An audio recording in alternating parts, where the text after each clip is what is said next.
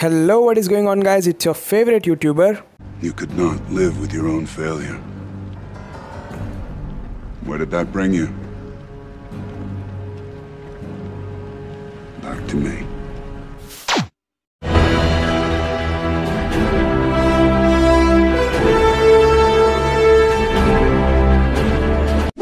So today guys we are going to be testing the new boss that is Magneto in the newly minted game mode The Danger Room.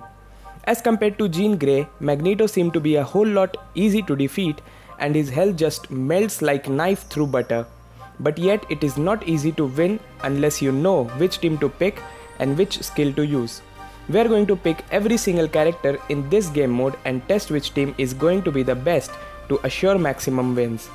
So our options this week are Cyclops, Sharon Rogers, Doctor Strange, Ant-Man, Namor and Mr. Fantastic. So first we will dive into some gameplay using Mr. Fantastic. Also thanks to my alliance mates Alpha Nexus and Death Warrant for helping me in making this video. You guys are the best. Now Mr. Fantastic being a combat type must be at a disadvantage against Magneto, who is a blast type. Yet, surprisingly, Mr. Fantastic's damage skyrockets as he deals a great dent in Magneto's HP. He for one is definitely one of the best options for your team this week. His 1 to 5 skill does a minimal damage, but his 6th skill, that is his tier 3 skill, is the heavy hitter here. So try charging up his tier 3 skill as fast as you can. As you can see in damage ranking, as soon as I hit his tier 3 skill, I went from bottom to top in ranking. Do make sure to land his proc here to get the maximum advantage. Sharon Rogers is definitely better than Cyclops, but here in Danger Room, the scenario is just the other way around. Sharon can do much greater damage to Magneto than Cyclops, but the problem here is that her tier 3 skill gets cancelled 2 out of 3 times, so be careful while using her tier 3 skill. Overall, this team of Cyclops, Mr. Fantastic and Sharon Rogers is a great pick and can get you a lot of wins. Just keep up with your proc timing and know your skill rotations, as these two factors will make all the difference.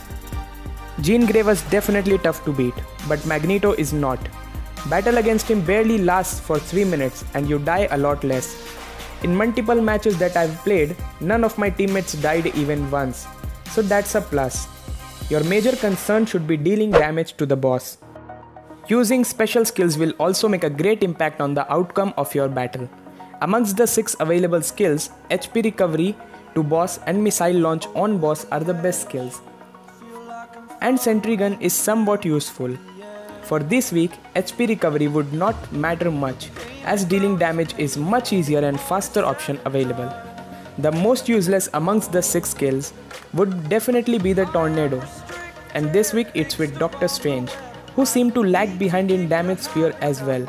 So I'll suggest not to pick him at all. You'll see what I'm talking about in this battle. Doctor Strange's skill animation are way too long and his damage as well is not that great or impressive. Our opponent using Ant-Man launched rockets several times on boss, which in turn made a greater impact than us trying to deal with boss using hero damage. The major portion of damage from our team came from Cyclops and Mr. Fantastic, while Doctor Strange's damage bite the dust. His tier 3 skill is no doubt great, but does not seem to be that great in this game mode at the very least. So better to plan your team and attack strategy beforehand. I know for most of you guys, Danger Room is not that important game mode to invest your time on, but I'll suggest you should start playing Danger Room if you haven't yet. Because I've seen and heard from people that they got Weapon Hex and Gambit's bios from their weekly ranking chest. Though the odds are slim, but you'll need the odds in your favor just once. After that you can mega rank and mega tier 2 if you want. I'll suggest at least get to gold every week if you run short on time. Trust me, reaching gold is really very easy. You just need good alliance mates and strategy. As far as Ant-Man is concerned, his special skill is the one you should focus on. It's really easy to charge and deals great damage to boss. For the first half of this match, I tried discovering his raw damage to test his potential. As, as he is the only speed type in the team and has type advantage. Yet the damage is not that good. To put it in other words, he's like Namor from previous week, only good for his special skill. For this battle, my teammate and I both took support characters, which was the mistake we made. Please don't do that. Make sure to have any two out of the three heavy hitters, namely Cyclops, Sherrock and Mr. Fantastic every time, and one of the supports out of Namor and Ant-Man, but mostly Ant-Man. Because Namor's heal will take a lot of energy and time to charge and will be of near to no use. We could have won this battle regardless, but one of the teammates got disconnected at the start, so could not deal much damage or use his special skill. Our opponent in fact set their team ideally with Sherog, Cyclops and Ant-Man, and you can clearly notice their side of bar melt like anything, while ours moving slowly. That's what you should aim ideally for. They won with over half HP remaining on our side, which is crazy if you take my opinion.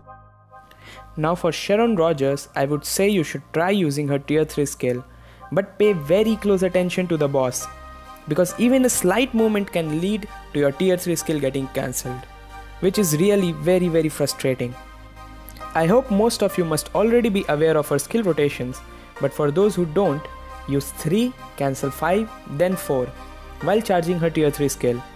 Try landing proc between 5 and 4 and then go for 3 cancel 5 into 6 with proc on to shred the boss.